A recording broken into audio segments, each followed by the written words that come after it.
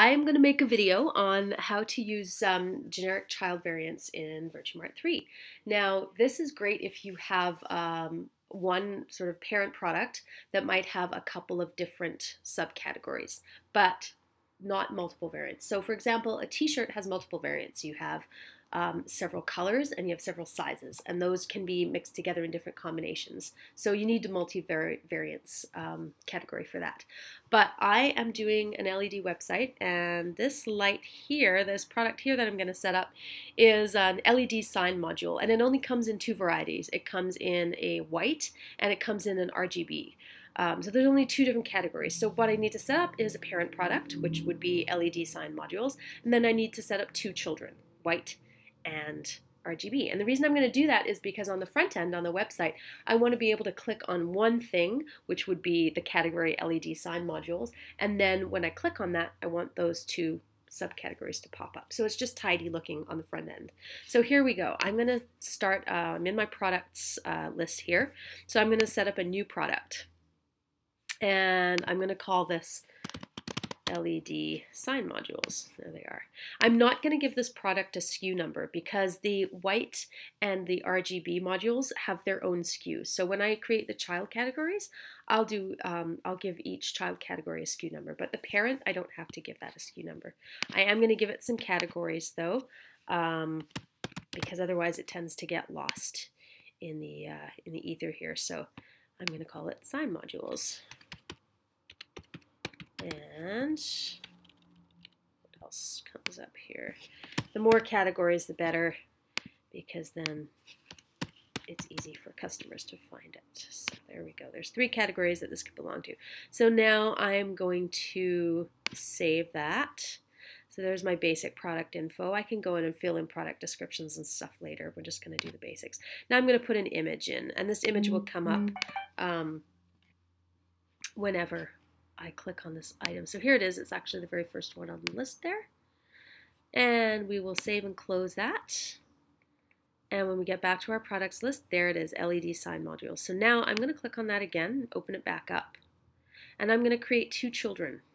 And one would be the white module and one will be the RGB module.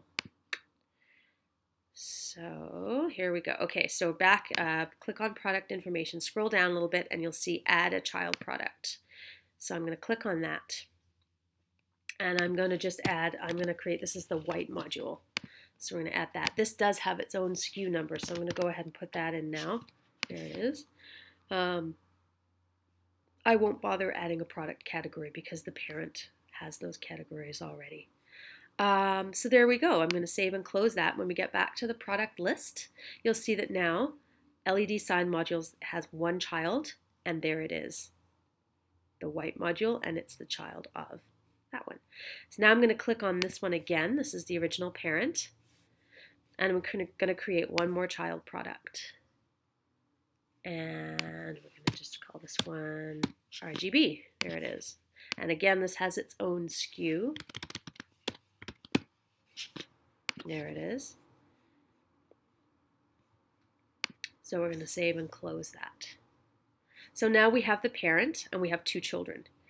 But there's one more step. See, if I go into, I'm going into the front end here and I'm clicking on products and I go and I find my, here's my LED sign modules and I click on that.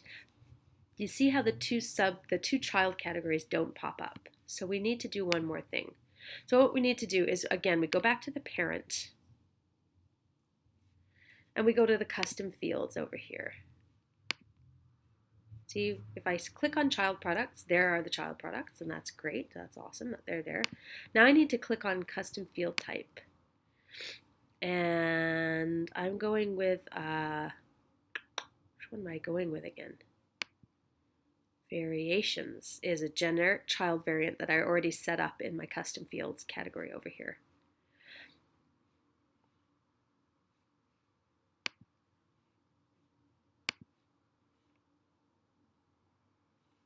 So now I'm going to save.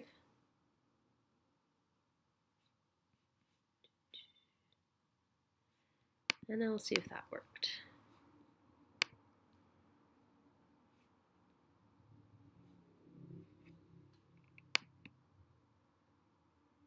Yes, so now I click on that and both variations come up. So all I had to do was go into my custom fields here and I had to set up a generic child variant, which I already had saved in custom fields. So I just added that. That's all I had to do. I didn't have to go in and add anything else.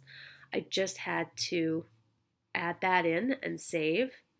And now when I go in on the front end, both variations show up. So that's really important.